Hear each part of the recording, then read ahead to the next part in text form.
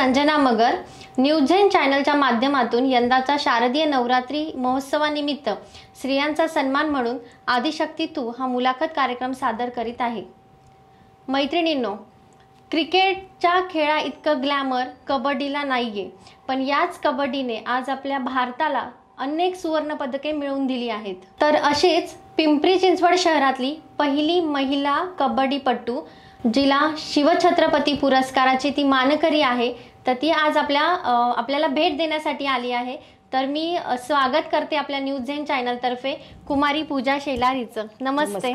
मुलींसाठी खूप सारे खेळाचे प्रकार आहेत. म्हणजे खूप सारे खेळ आहेत की ज्या मुली खेळतात. पण मला कबड्डीच खेळायची आहे हे तुला का वाटलं? ॲक्च्युली माझ्या घरचा बॅकग्राऊंडच कबड्डी आणि कुस्तीचा होता. माझे वडील परत माझे चुलते भरत शेलार हे सुद्धा कबड्डी आणि कुस्ती खेळायचे. त्यांच्यानंतर माझे भाऊ खेळायचे. आणि त्यां त्यांच्यानंतर माझी मोठी बहीण आहे योजना. ती सुद्धा कबड्डी तिने जॉईन केली. सो तिला ह्या सगळ्यांना खेळताना बघून मला पण कुठेतरी वाटलं की मी पण स्पोर्ट्समध्ये जावं. आणि दुसरा स्पोर्ट्स नाही निवडला कारण घरातच कबड्डी प्लेयर्स होते त्यामुळं मी पण माझा कल कबड्डीकडेच जास्त राहिला. म्हणजे लहानपणापासूनचं बाळकडू. हो तसं मी शाळेत असताना बाकीचे गेम्स पण केले. बॉक्सिंग खेळली आहे बॉक्सिंग स्टेट लेवल खेळली आहे रायफल शूटिंग स्टेट लेवल खेळली आहे कुस्ती खेळली आहे पण जे म्हणतात ना की खरंच आपल्याला ह्याच्यातच काहीतरी अचीव करून दाखवायचं आहे तर मी त्यासाठी कबड्डीच निवडला. कारण भोसरी गावचा पण इतिहास आहे की कबड्डी आणि कुस्तीचा. सो मला असं वाटायचं कुठंतरी की काहीतरी कबड्डी क्षेत्रात आपल्या गावात काहीतरी करून दाखवायची ही जिद्द मनात ठेवली आणि कबड्डी हा खेळ खेळली. आता एक छोटासा म्हणजे आता महिलांसाठीचा कार्यक्रम आहे म्हणून एक छोटासा प्रश्न विचारते. कबड्डी खेळताना कसं तर मातीतही खेळलं जातं. मग एक मुलगी म्हणून ती माती अंगावर घ्यायची. म्हणजे हे कसं फील होतं? किंवा तुला आवडत होतं? जेव्हा चालू केलं मोठी बहीण माझी थोडीशी हेल्दी होती तर तिला घरातनं आधी अपोज नाही झाला की ठीक आहे ही स्ट्रॉंग आहे ही खेळू शकेल. पण तिच्या मनाने मी थोडीशी बारीक आणि नाजूक होते. तर माझी आई नेहमी म्हणायची की एक खेळती एक बास. तू एज्युकेशनमध्ये जा तू नको. दोघी पण स्पोर्ट्समध्ये नको. कारण तिला वाटायचं की हिच्याकडनं नाही होऊ शकत. एक मोठी मुलगी खेळतीये तर बास झालं ती. परत भाऊ. त्यांचा काही इंजुरीज व्हायच्या. ते सगळे घरातले बघायचे. त्यामुळं मग त्यांना वाटायचं की नको दोन्ही मुली पण. पण मी ठरवलं की नाही मला खेळायचंच आहे. त्यात पण एक इन्सिडन्स झालेला. जेव्हा मी कबड्डी स्टार्ट केली त्याच्यानंतर मला सहजच एका टुर्नामेंटसाठी नेलं होतं स्कूलमधनं तर त्या ठिकाणी माझी बहीण खूप छान खेळलेली पण तिचं सिलेक्शन नॅशनलसाठी नाही होऊ शकलं. तर माझ्या वडिलांची नेहमी इच्छा होती की माझी मुलगी नॅशनल खेळावी म्हणून. तर मी ते नेहमी ऐकत आलेली. तर त्यावेळेस तिला जेवढं हर्ट नाही झालं ती सिलेक्ट नाही झालं तेवढे हर्ट मी झालेली. आणि त्याच वेळी मी ठरवलं होतं की मला हे मी करायचंय. हा मी करून दाखवणार अं, काहीतरी ह्या क्षेत्रामध्ये. सो तिथनं माझी जिद्द जास्त वाढली की कबड्डीमध्येच काहीतरी अचीव करून दाखवायचं.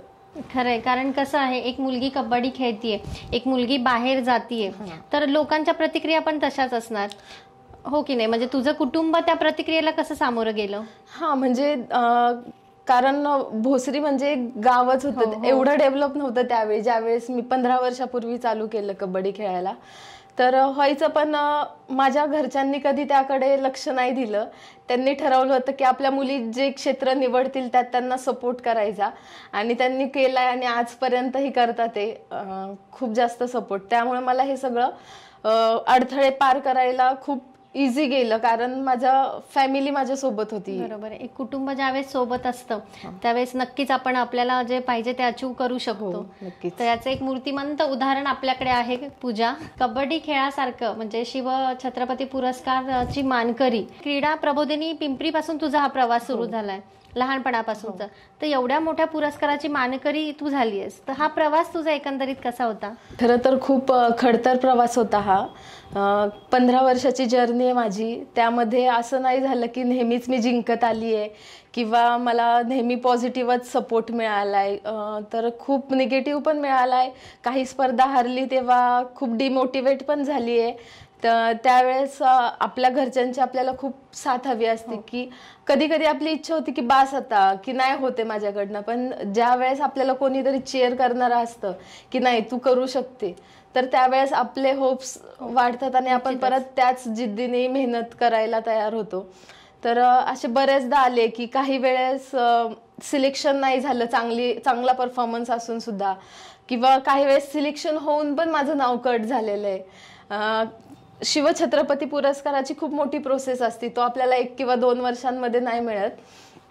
त्यामध्ये आपले school nationals universities senior national junior national सगळं इन्क्लूड असतं. तर मी मोस्टली सगळ्याच नॅशनल खेळली आहे पण शिवछत्रपती पुरस्काराचा एक क्रायटेरिया असतो की तुम्ही तीन सिनियर नॅशनल कंटिन्यू खेळले पाहिजेत. आणि मिनिमम पाच तर माझी ज्या वेळेस थर्ड नॅशनल होती त्यावेळेस माझं सिलेक्शन होऊन नाव कट झालेलं. आणि जर त्या वर्षी माझं नाव कट झालं असतं तर माझं पॉइंट्स नसते झाले. म्हणजे मी ग्राह्य नसते धरले अवॉर्डसाठी तर मला ते करण्यासाठी मला परत पहिल्यापासून सुरुवात करावी लागली असती. तर ते वर्ष माझ्यासाठी खूप कठीण होतं. पण त्यातनं पण मला त्यावेळेस लक पण म्हणावं की परत टीममध्ये आले मी. आणि त्याच्यानंतर परत दोन वर्ष कंटिन्युअस नॅशनल खेळली. अजून पण रिसेंटली पण खेळली आहे मी. पण तो काळ थोडासा कठीण होता माझ्यासाठी. आणि त्याच्यानंतर मला अवॉर्ड डिक्लेअर झाला. एखादा खेळाडू अपयश पचवत जेव्हा पुढे जात असतो तेव्हाच नवीन इतिहास घडत असतो. शिवछत्रपती पुरस्कार प्राप्त होणे हे काही सामान्य गोष्ट नाही आहे तर ही जी गोष्ट आहे म्हणजे हा जो पुरस्काराचे तुम्ही मानकरी झालात तर हा पुरस्कार मिळवण्यासाठी तुमचा स्टॅमिना जिद्द म्हणजे पूर्ण दिवस तुम्हाला यासाठी द्यावा लागला असेल. तर पूर्ण दिवसाचा दिनक्रम कसा होता? किंवा एखाद्या खेळाडूला स्टॅमिना ठेवण्यासाठी काय करावं लागतं? मला हेच सांगायला आवडेल की ज्यावेळेस मी सुरुवात केलेली तर माझ्या शाळेचं शेड्यूलच तसं होतं की सकाळी सात ते संध्याकाळी आठ वाजेपर्यंत माझं माझी शाळा असायची. त्यामुळे शाळेमध्ये सकाळची सकाळची एक प्रॅक्टिस व्हायची. त्याच्यानंतर ब्रेकफास्ट त्याच्यानंतर शाळेचा टाईम चालू व्हायचा. त्याच्यानंतर जेवण वगैरे आम्हाला सगळं शाळेतर्फेच मिळायचं. आपल्या महानगरपालिकेची शाळा आहे क्रीडा प्रबोधिनी अं, नेहरू नगरला आहे. आणि संध्याकाळी परत प्रॅक्टिस करूनच घरी यायचो आम्ही. तर आम्हाला आठ ते नऊ सुद्धा कधी कधी वाट वाजायचे. तर आल्यानंतर फक्त घरी आल्यानंतर जेवायचं आणि झोपणे हे एवढंच असायचं. आणि शाळा माझी फक्त दहावीपर्यंत होती. पण शाळेत आम्हाला नेहमी सांगायचे की तुम्ही शाळा दहावीपर्यंत आहे म्हणून तुम्ही कधीच तिथपर्यंतच खेळू नका. शाळेनंतर पण गेम कंटिन्यूस ठेवा. कारण बऱ्याचदा असं होतं की शाळेमध्ये आपल्याला भेटते तोपर्यंतच आपण ते कर करतो. आणि नंतर मग कॉलेजला गेल्यावर कॉलेज लाईफ चालू होती. पण आमच्या म्हणजे कबड्डीच्या टीमच्या बाबतीत असं नाही झालं. कारण आमच्या शाळेनेच एक क्लब चालू केलेला शिवमुद्रा म्हणून. सो आम्ही त्यात कंटिन्यू केलं. मग आमचं ते शेड्यूल कंटिन्यू राहिलं दोन टाइम प्रॅक्टिसचं आणि अजूनही माझी तेच शेड्यूल आहे. सकाळी पाच वाजता उठते मी. सहा ते नऊ वाजेपर्यंत माझी प्रॅक्टिस असते. फिटनेस फिटनेस झाल्यानंतर जिम असते.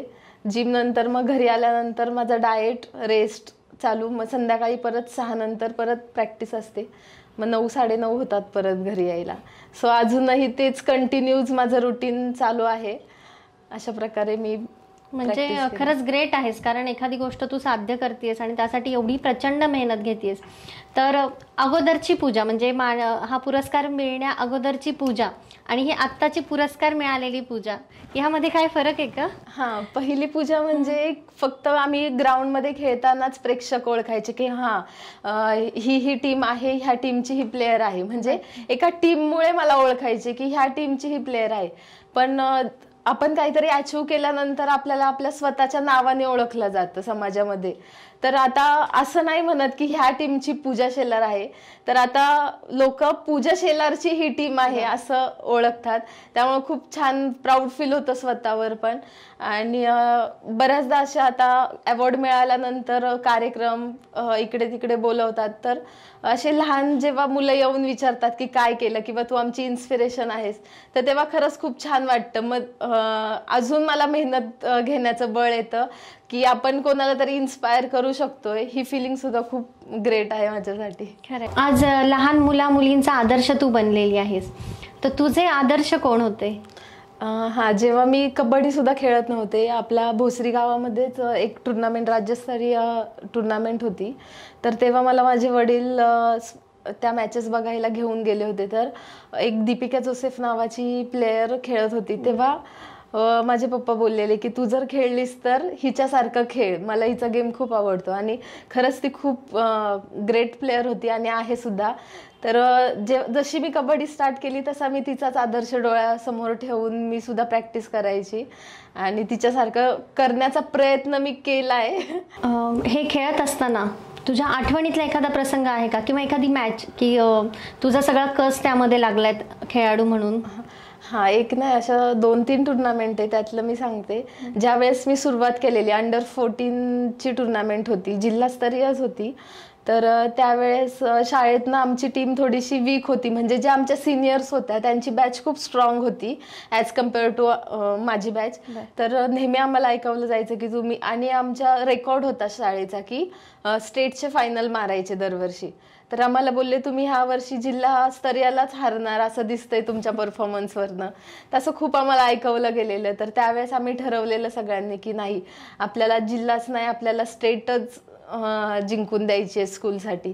तर त्यावेळेस आम्ही जिल्ह्याला म्हणजे कोणाला एवढं एक्सपेक्ट पण नव्हतं आमच्याकडनं. असा परफॉर्मन्स माझ्याकडनं दिला गेला आणि ती टुर्नामेंट जिंकलो. आणि फक्त जिल्हास्तरीयच नाही तर त्यानंतर स्टेटची फायनल जिंकून माझं महाराष्ट्र संघात निवड झाली. मला कर्णधार पद मिळालं आणि मी नॅशनलची सुद्धा फायनल मारून दिली होती त्या वर्षी.